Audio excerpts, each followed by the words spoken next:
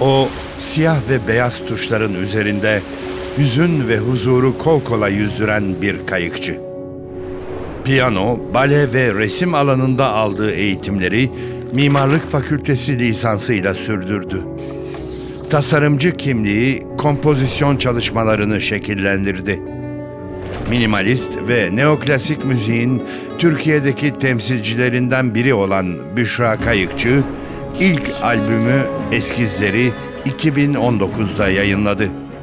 Dünyaca ünlü müzik şirketlerinin projelerinde yer alan Büşra Kayıkçı, müzikte yenilik arayışları, disiplinler arası çalışmaları, besteleri, icraları ve üretimdeki enerjisiyle ülkemizde ve uluslararası müzik platformlarında gösterdiği başarıları sebebiyle Necip Fazıl Müzik Ödülü'ne layık görülmüştür.